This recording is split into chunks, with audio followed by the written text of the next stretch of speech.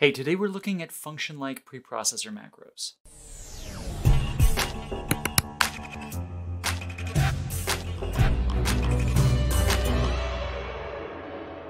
Welcome back, friends. In the past, several of you have expressed interest in diving a little deeper into the preprocessor and talking a little bit about function style macros. So I want to do that today, both talking about the basics and some of the ways that you can get yourself into trouble with the preprocessor. Now, of course, we're going to be making source code in this video, and as always, source code is available through Patreon. A big thanks to all of you who support this channel. But first off, let's talk a little bit about what the preprocessor is. So the preprocessor is basically a program that processes, it takes your program and processes it before the compiler gets a hold of it. That's the whole idea of pre-processing is it processes it before. So it does some initial processing. And basically any line in your C program that starts with a pound sign is going to be handled by the preprocessor. So that means include statements like this are handled by the preprocessor. And if you've been watching this channel for a while, you've definitely seen me use pound define to also use the preprocessor to define constants that are then included into the program in various places. But today I want to look at some slightly more advanced preprocessor stuff and stuff that can get you into trouble if you're not careful. And that is specifically I want to talk about function-like preprocessor macros. And I'm thinking that the best way to illustrate this is through code. So let's dive into it. Okay, so here's a simple empty program and I have a makefile up here.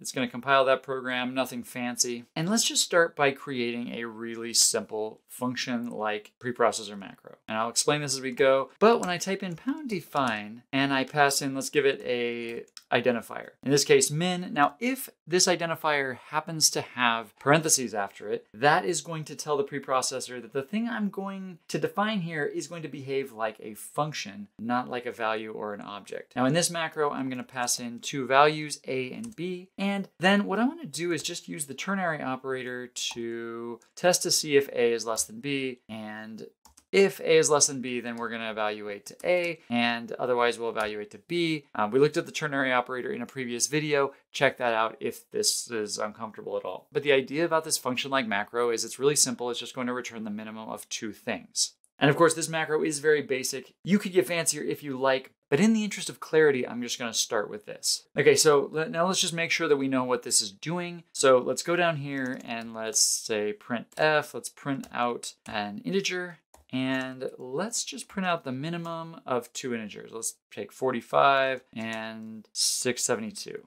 Okay, so th what this should do is this should print out the minimum of these two integers. And of course, I'm using constant values here in a real program. They would probably be integer variables. But now we can come down and we can compile our program. It's just going to be called test. And if we run it, you can see that sure enough, we do print out the minimum of those two integer values. Okay, so now at this point, let's just talk about what's happening here. Basically, when we typed min 45, comma 672, the preprocessor saw this before the compiler got a hold of it and replaced this with our ternary operator code. And I want you to be able to see this, so I added a, a target to my makefile called make pre. And basically all this does is compiles with the dash E option.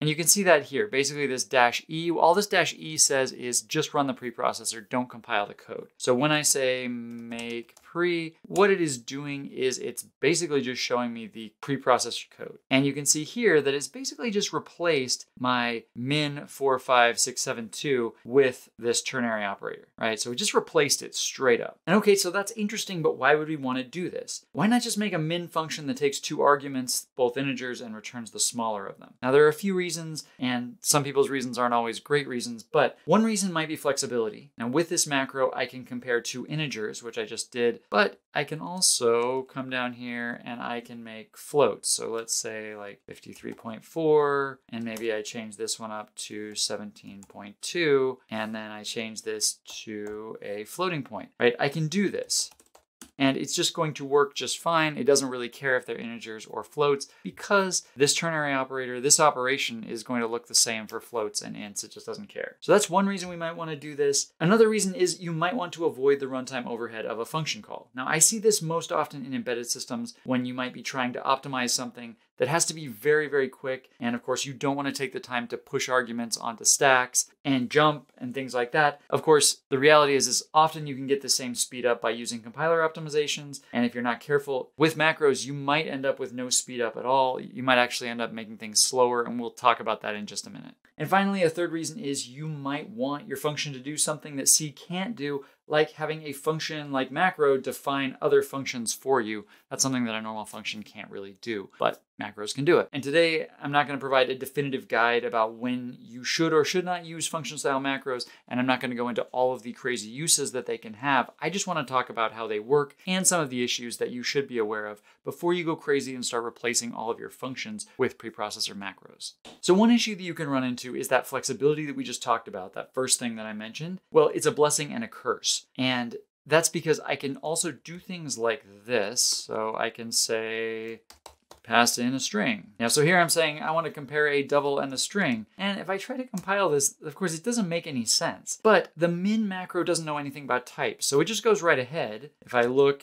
at the pre-processed code, you see it just sticks that string in there. It doesn't really care and when I compile it, it still produces an error, but in some ways I find that the errors produced by expanded macros are a little bit less helpful than the errors that are produced by functions. So that's definitely a downside. And that's the most common issue that comes up with preprocessor stuff, is the preprocessor doesn't do much type checking, and so it can produce some weird and complicated bugs that would be easier to track down if you used functions. Now another issue comes up if I try to pass something more complicated to this macro. So let's just change up our example a little bit. Um, indentation is off.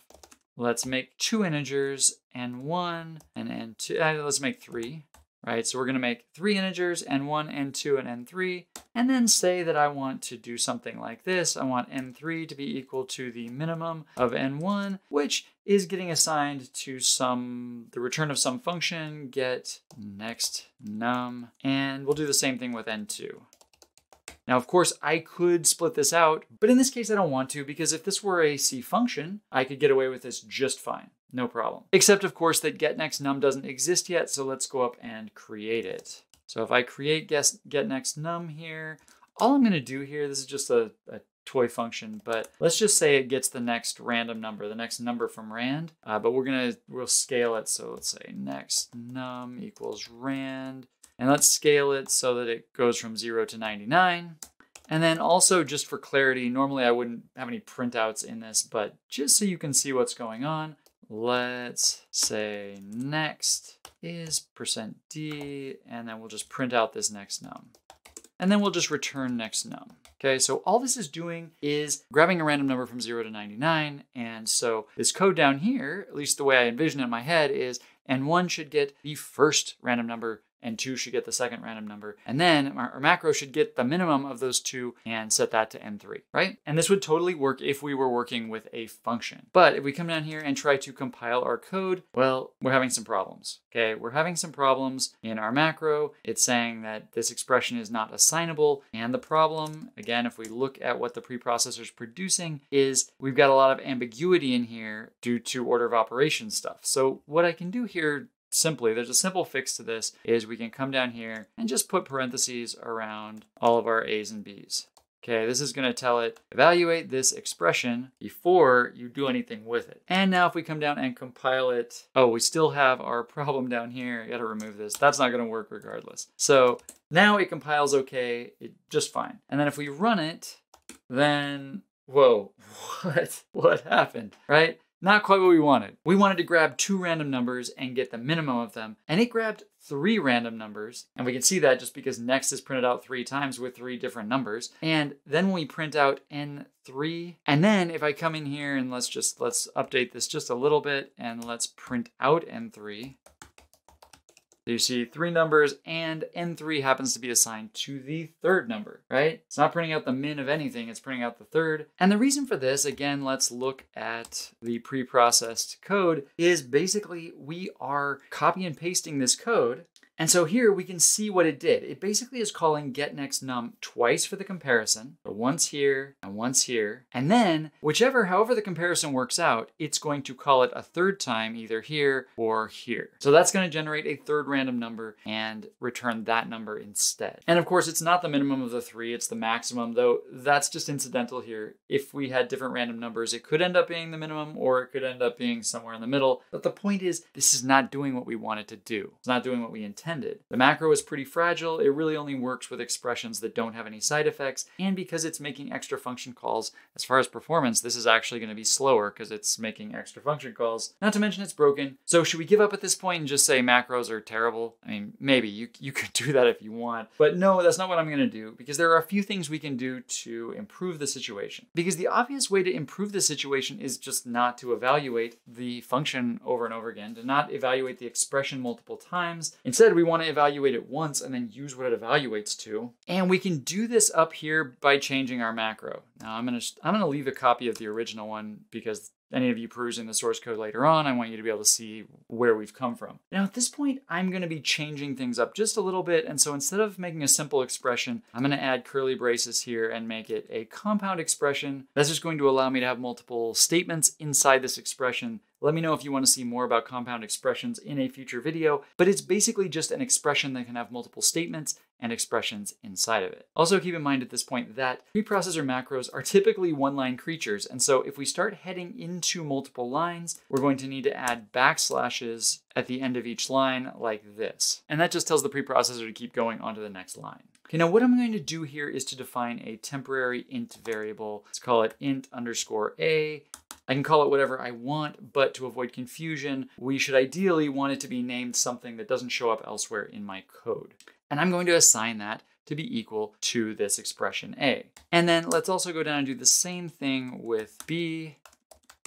And then down here, we can do the exact same thing, the exact same ternary operator code that we did before, but we're gonna do a is less than underscore b, we're basically just using these temporary variables instead of the expressions, instead of evaluating the expressions again. Okay, so now if we come down here and we compile it, well, it looks like we broke it again. Well, technically these are just warnings, but still what's going on? Now remember before we were basking in all that flexibility that our macros provide. It could be ints and floats and we didn't really care. But then we went and added these temporary variables and they're ints. And so now down here, when I throw floats at it, it's basically saying you've got a bunch of implicit conversions between float and int, and you're losing precision, and you're gonna get results that you didn't expect. And that's really not very desirable. It's not what I wanted. I don't want all of my floats and doubles being converted to ints just because then we lose all that juicy stuff after the decimal point. And so that's kind of annoying. So are we stuck? Do we have to like make two macros just like we would have to do with functions here? Of course not, because we have one more trick up our sleeve and that is the type of operator. So what I can do is come up here and say type of A. This is going to evaluate to be the type of the expressions of A and B. Typeof is an operator I almost never use, but here it's really useful because this allows me to make my temporary variables equal to whatever the type is of the expression that I passed in. So if I pass in floats, I get a float. If I pass in ints, I get an int. And now some of you may be wondering right now, hey, now A is showing up again twice. So are we going to end up with that multiple function call scenario again? And no, we're not going to. And the reason is, is that the typeof operator just evaluates the type of the expression. It doesn't actually run the code and evaluate the expression. So we should be fine. But let's just make sure, just to double check, we'll come down here and compile. Oh, I forgot to save it. We come down and compile. Uh, looks like I have a space in there that's annoying. Okay, we'll compile it again. Now it compiles. So it compiles just fine, we're okay. And now if we run it, you can see now things are behaving the way that we want them to behave. Now, naturally, I could have just started you off with this version and said this is how you do it, but I hope walking through the different versions from simplest to not so simple was helpful to, for you to see some of the problems that can come up when you are working with macros, especially if you don't think through all the type issues. Because these function-like macros are both powerful and potentially dangerous. And that's all the time I have for today. Let me know if you want to see more about the preprocessor in future videos. Like the video, subscribe so you don't miss the next video. Please consider supporting this channel on Patreon. And if you want to dive a little deeper, check out my courses. Links in the description, and I'll see you next week.